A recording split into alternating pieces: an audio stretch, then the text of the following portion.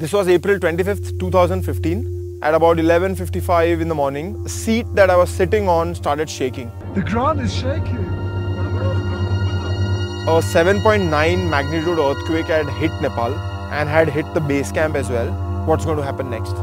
And then we hear this loud boom, almost like a bomb blast happening somewhere. The sound of the boom was coming from towards Everest. All of us were standing and looking towards Everest. And in that time, something very unusual happened.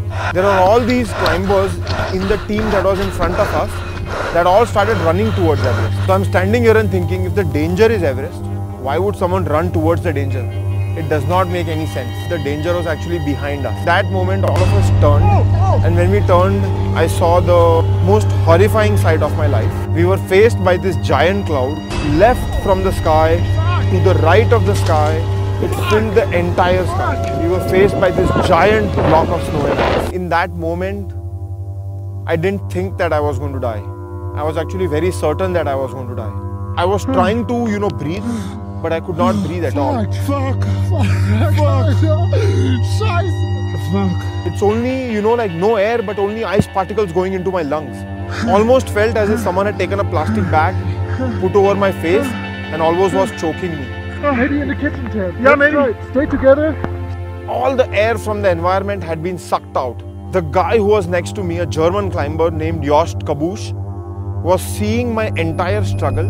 And in that moment, he told me, Kuntal, you can come inside my jacket and breathe.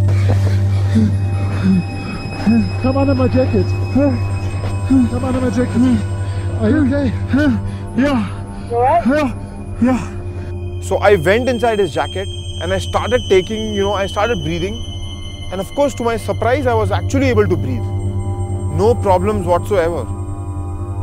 And I realized that inside his jacket, there were still ambient pockets of air that I could go and breathe from. So I would go inside his jacket, I would breathe, I would come out, I would struggle, I would go inside his jacket, breathe again, come out, struggle.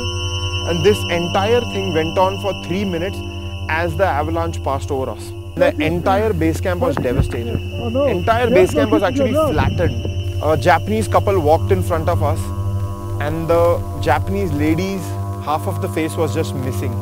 Skin and bones, that's it. We quickly realized that initial estimates were about 6,000 people were dead, few hundred thousand were displaced from their homes.